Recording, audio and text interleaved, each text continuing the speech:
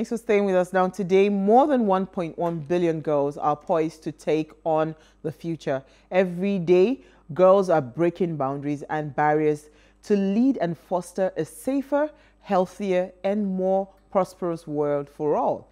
They are tackling issues like child marriage, education inequality, violence, climate justice, and inequitable, inequitable access to healthcare. Girls are prov proving that they are unstoppable. Now today, no matter where a girl lives, she's at risk of encountering violence in every space in the classroom at home and in her community. Just like very, the very sad story that we talked about, the 10-year-old girl that was gang raped in Kaduna State, and that's to mention a few. To have an education and a future, all hands must be on deck in safeguarding the life of the girl child. Now, please let us hear what you have to say about the girl child. And remember, you can join this conversation, tweet at us at Plus TV Africa or at Wayshow Africa 1 with the hashtag Wayshow or send us an SMS or WhatsApp to 081 803 I think we'll just quickly do um, two things, right? Um, what would it mean for you, EC, safeguarding the future of the girl child before I bring in our guest? For me, the most important thing is to empower them from okay. an early age and build their confidence that they don't have to rely on a man or that they are, they are enough, you know. So it's very important that the girl child knows her worth from the get-go and she can be self-reliant because we have I've seen individuals, you know, as an educator, I've seen young girls, mm -hmm. they and time and time again, not being able to express themselves, not being able to, you know, stand on their own because they feel that they are not enough. Mm -hmm. So empowering the girls, building their confidence, and ensuring that they can stand on their own is, for me, the key Absolutely. thing to do for All right, so Tony Ndidi Taiwo Ojo is, um, she is the CEO and the founder of Stop the Abuse Against Women and um, Children Foundation, an organization that believes every child and woman is a star and therefore must be protected. And she's joined us via Zoom this evening. Thank you so much for joining us, Tony. Are you there? Yes, I am here. Good evening, everybody. Good evening. Good evening. Thank you so much for joining us. All right, so it's the International Day for the Girl Child. Um, this is one conversation that I think every year you know, we always talk about, and all year round actually, not one day in the year, all year round we always talk about it. Different organizations come out to try to see how they can continue to, um, what's it called, talk about issues that, you know, that affects the girl child. And when I was reading about, you know, um, this, uh, the, the research from UNICEF, there's been tremendous progress, right? Tremendous progress, but it's still not enough. It's still not enough. We still have a lot of work to do you know, in this situation, you know, especially, you know, in some remote areas when it comes to the girl child. Mm -hmm. So in your in your assessment, how far are we faring? Let me bring it home to Nigeria. How far are we faring in terms of preserving the future of the girl child?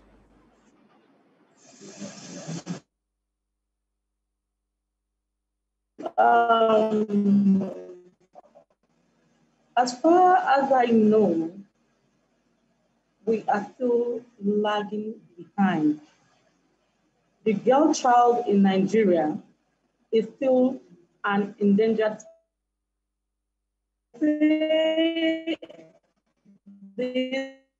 because um, some people still believe that um, a girl child should um, not get an education, should not have a voice, and um, if you look at out of girl children statistics in the country, it is still very huge compared to our other African countries and, and other places in the world.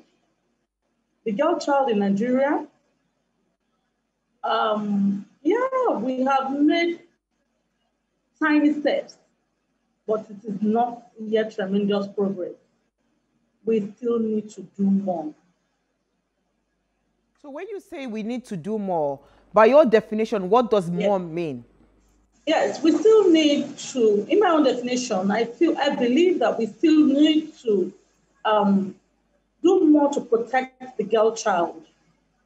We are coming from a long um, history of abuse of the girl child, a long history of undermining the girl child power. Now we are at a place where um, females all over the world are making giant strides. I think we're having a bit of challenge with her. You were taking down notes, you know, yes. when she was talking. Mm -hmm. You know, what what what what's your what I mm -hmm. um, what I was able to pick from that was that um, she talked about the fact that the girl child still has a long way to go. We still have a long way to go mm -hmm. as a country mm-hmm. or um, uh, a state to um, groom our girl yeah. child. I believe I I totally agree with her. Why? Because mm -hmm. especially in the north, I took a story yesterday on uh, children in Hisber where the girls are not allowed to carry phones or are not allowed to use the internet. Mm. In this day and age, we've gone past jet age. It's a digital world right now. So we can't have a situation whereby the girls are not exposed to that environment mm. because of un-Islamic um, beliefs or that they're being exposed to un-Islamic mm -hmm. um, things. So it's essential that the girl child is given every tool to work in this day and age. So that's why I was asking about practicality. You know, mm -hmm. when mm-hmm. you say, because for me, I don't like to have a blanket statement like, okay, we need to do more. Do more. When how we say, do we yes, do more? When we say more, how do we break down more? What would more mean? So, for instance, I don't. I think we have uh, um, Mrs. Ojo back.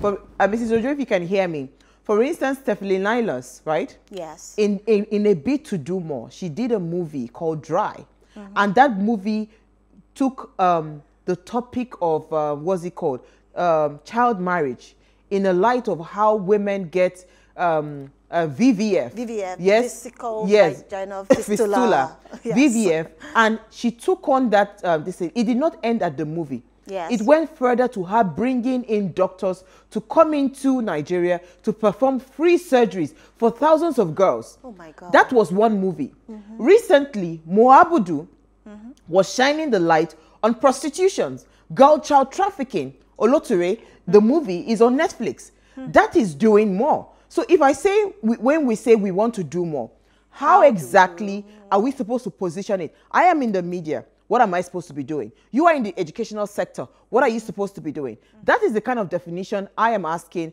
uh, Mrs. Ojo if you're there. Can you listen? Uh, uh, can you hear me? Yes, I can. All right, ma'am.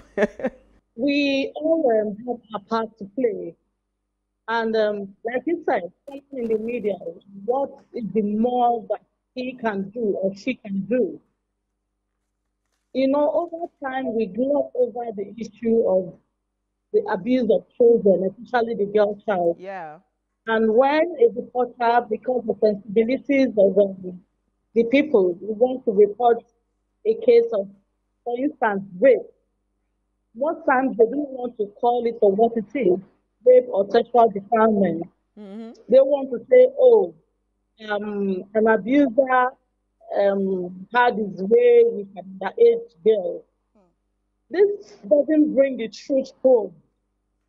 As far as I'm concerned, it makes um, it makes it feel as if what um, the child has undergone or has um, passed through is something not so um, um, tangible, that's the right word, something concrete, or something evil, because that is what it is. But you say you use the right word, this child has been raped or has been sexually defiled, I think that's a way of doing more. Uh, we talk about um, our, our government, the political will to implement the laws that protect the, the girl child. When we're talking about um, the girl child, especially when it comes to our laws, we tend to, the government tends to shy away because we do not want to affect the sensibilities of religious bodies, especially in a country where some parts of the country believe that believe in child marriages. It is um, religiously approved. Now, these are the things that actually undermine the power of the girl child. The law, the child rights law has consistently said, and other laws, that a child is someone less than 18 years. And the child rights law said a child less than 18 years cannot get married. If we have a law that is saying that categorically, why is our government not coming out in full force to say this? That if a child who is less than 15 years gets married, the um, null and void, and is an abuse, the sexual abuse, the child abuse. Furthermore, we have um, people in the we have people who actually go out of the way to abuse these children and they do not get prosecuted. We are not doing enough. When people who are arrested are given a pat in the hand and let go be hooked easily. Absolutely. We need to have the, the power, the laws that will make people answerable to their crime. I was telling a colleague today at um, an event I just left in the celebration of the girl child. We have cases since two years ago, cases of rape that has not gotten to trial stage. All right. Thank so you. what are we doing? Absolutely. Those are the issues that we are definitely going to throw more light. But I'm afraid we've run out of time. Thank you so much, Mrs. Ojo, for joining us this evening. We're going to take a short break. When we return, we'll continue the conversation. Please stay with us. We'll be right back.